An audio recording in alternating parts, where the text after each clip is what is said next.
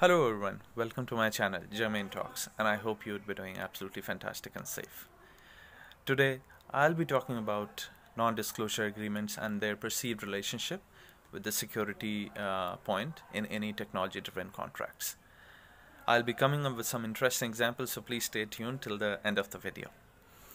So NDA, non-disclosure agreement, what is it? It's actually uh, an agreement between two parties, sometimes unidirectional, sometimes bidirectional, which kind of stops or prevents the party from using the data or information from any unintended purposes other than the one which is stated in the contract, which is the intended one. And it says that the parties will take reasonable uh, uh, precautions in order to protect the information. Also, NDA is mostly mostly used as a contract vehicle for all the confidential trade secrets and such sort of data. It singles out any sort of private uh, or customer information and so this is the this is the more or less the boundaries of an NDA. Coming to the security point, uh, mostly uh, people think that if we have a very very fortified kind of uh, non-disclosure agreement. We are good to go and we don't have to worry anything on the security front. But sadly they sound similar but they are quite far from each other. Security clauses in the security point or security dimension or clause in any contract is the procedural aspect of the data security as we have in criminal uh, code as criminal procedure code of conduct.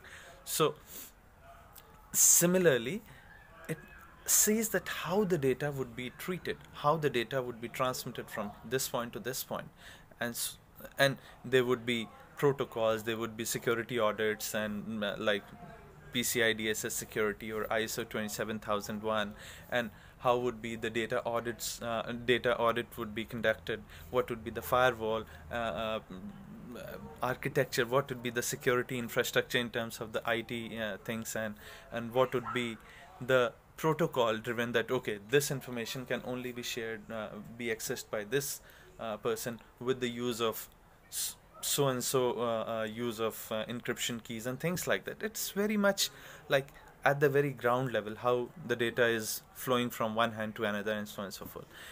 And unless and until the security point is not fortified. NDA is just something like uh, up there in the air. It's more of a theoretical.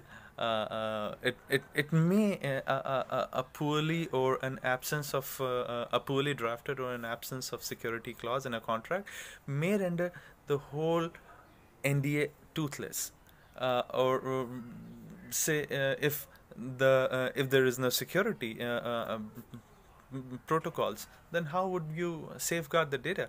The uh, even if it's covered by NDA, uh, NDA uh, also uh, is a thing where uh, where the information is being handled by real human hands. Like okay, I am reading the formula of this of this medicine, and this is a very secret formula of the, this diabetes medicine, but if I have to transmit it from me to some scientist in the company or some lab attendant or anyone so how to transmit that information so that this drug uh, information is not leaked? So that is what the NDA and there it, it, it goes hand in hand with the security concept. And so both of them are equally important. Security uh, uh, clause stops at the contract uh, uh, termination or at the uh, uh general uh, tenure, tenure, end of the contract. However, NDA outstretches uh, the contract by maybe two times or three times or whatever way it is drafted. NDA is more on the legal side of things, more on the reg regulatory side of things.